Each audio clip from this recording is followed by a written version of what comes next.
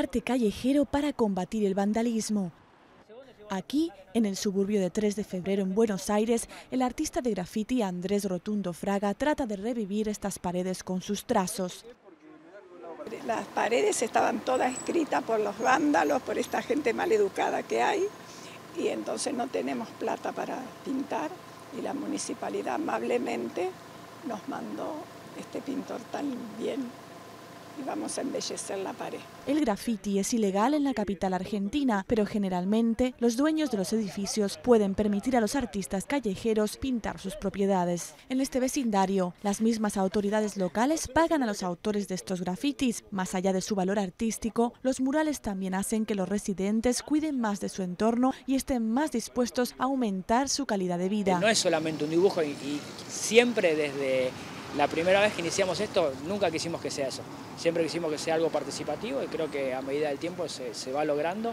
Y de hecho, ya te digo, hoy 3 de febrero está poblado de 350, 400 murales en, todas las localidades, desde los barrios más bajos hasta los barrios más, eh, entre comillas, eh, lindos, para ponerle un adjetivo. Buenos Aires se ha convertido en una de las capitales del mundo del arte callejero, con miles de murales decorando casas, escuelas e incluso iglesias. Empresas especializadas muestran a turistas este gigantesco museo al aire libre, con los murales y creaciones ficticias salidas directamente de la imaginación de los artistas o ídolos locales, como la estrella del fútbol Carlos Tevez.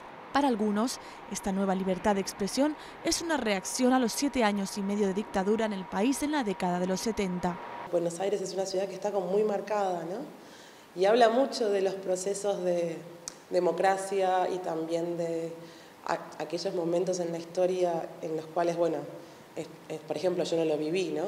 De, mm, eh, en dictaduras militares en los cuales se lavaban y se limpiaban activamente los monumentos públicos, la ciudad, y sí era fuertemente reprimido, ¿no? en ese momento. A pesar del creciente número de artistas callejeros nacionales e internacionales, Europa continúa estigmatizando el graffiti.